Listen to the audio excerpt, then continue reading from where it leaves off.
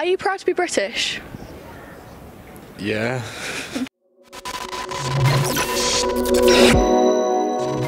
I'm um, proud to be English, but it's almost that you've got to be ashamed that you're English. And I don't think I think it would be a good idea if we had an English Parliament like there's a Scottish Parliament and a Welsh Assembly. We haven't got anything like that to actually um, uh, bring us together. Are you proud of your country? Sometimes. it depends. Agreed, sometimes. So what good things does Britain do, do you think? Um, I know more like bad effects of being patriot uh, in Britain, but I think, um, yeah, being proud from being English, uh, being proud of keeping your culture alive, uh, yeah, that's a good thing. What are you proud of?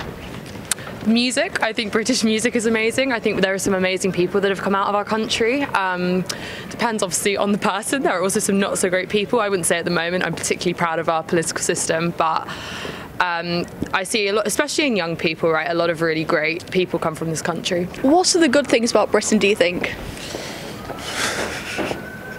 Um, put me on the spot here. Um, sense of humour. What are the reasons people might want to be British, might be proud to be British, do you think? Culture, culture. In my case, I think it's a, um, a mix of different people and a very old history Saxon, Angles, so on, French also. For example, Honi soit qui mal y pense. And that makes the British Empire. What do you think British culture is? British, co- for example, where we are, like uh, the old nice buildings, um, British food. What do you think the bad things are? How much time have you got? What are you not proud of?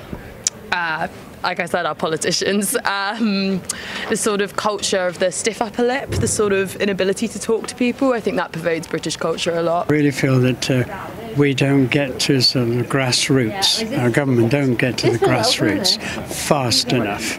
We d- we we, we d- did very well with COVID, um, but that's all past and gone. Now now we get back to brass tacks again, and that's when. Um, I, I want to see the government.